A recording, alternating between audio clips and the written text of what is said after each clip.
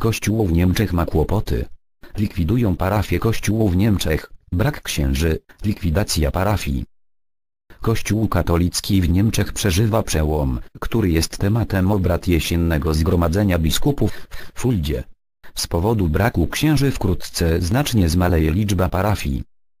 Wolfgang Pitzken nadal jest jednym z wielu katolickich księży w centrum Bonn. Jako dziekan bońskiej katedry jest najbardziej znaną twarzą kościoła w byłej niemieckiej stolicy.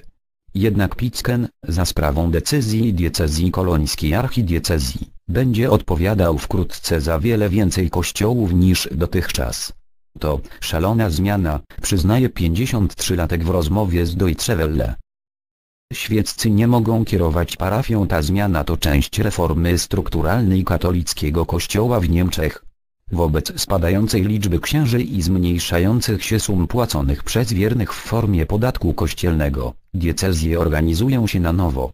Archidiecezja kolońska, najliczniejsza w Niemczech i jedna z najbogatszych na świecie, zamierza do roku 2030 zmniejszyć liczbę parafii z 500 do 50.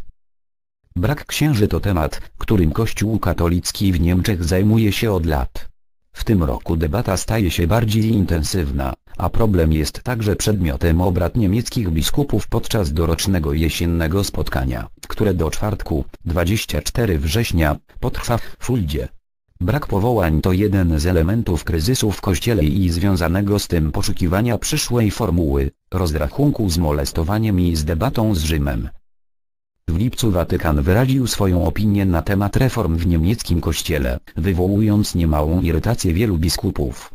Kongregacja do spraw duchowieństwa podkreśliła wyraźnie, parafie muszą być prowadzone przez księży, zawsze. To jasne odrzucenie koncepcji, by prowadziły je zespoły równouprawnionych duchownych i świeckich. Tymczasem liczba księży maleje, parafie powiększają się. Administracja to jedno, a duszpasterstwo drugie. Spór z Watykanem przewodniczący Centralnej Rady Niemieckich Katolików Thomas Sternberg powiedział, że watykańska instrukcja była dla niego pigułką ciężką do przełknięcia, bo niektóre jej części są oderwane od rzeczywistości i absurdalne. Podobnie uznali niektórzy biskupi. Biskup Bambergu Ludwik Schick, ekspert prawa kościelnego, zarzucił instrukcji teologiczny deficyt. Jego zdaniem zrobi ona więcej szkody niż pożytku. Diecezja w Trewirze najdłużej pracuje nad reformą strukturalną. Jej projekt w roku 2019 został odrzucony przez Watykan. Zakłada utworzenie 35 dużych parafii w miejsce 887 mniejszych. Te nowe miałyby być zarządzane przez zespoły duchownych i świeckich. Po odrzuceniu koncepcji przez Watykan powstał pomysł utworzenia 172 związków, każde pod kierownictwem księdza. Diecezja moguńska chce do 2030 roku utworzyć 50 parafii w miejsce 134. Coraz dalej do kościoła wraz z utworzeniem większych parafii może dojść do redukcji aparatu administracyjnego.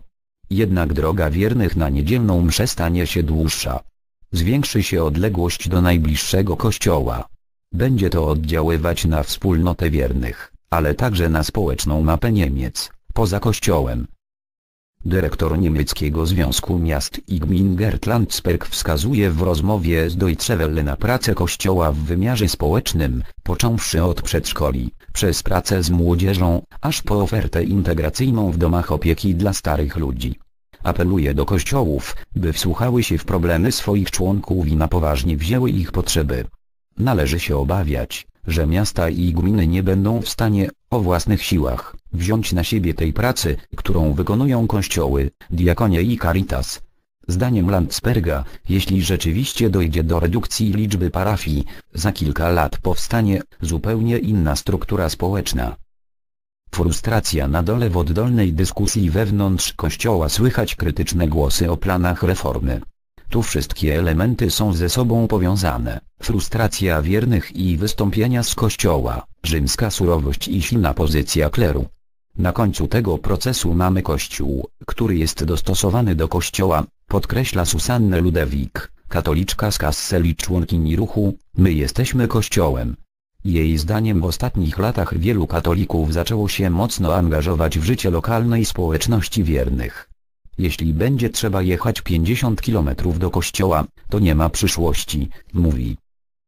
Czwartek, gdy będzie dobiegać jesienne spotkanie biskupów, Ludewik będzie w każdym razie w Fuldzie. Odbędą się tam demonstracje ruchów My Jesteśmy Kościołem i Maria 2.0 na rzecz większej odwagi w reformowaniu Kościoła. Uczestnicy oddolnych ruchów kościelnych przyczyn spadającej liczby powołań upatrują w celibacie i żądają od Kościoła otwarcia w tej kwestii.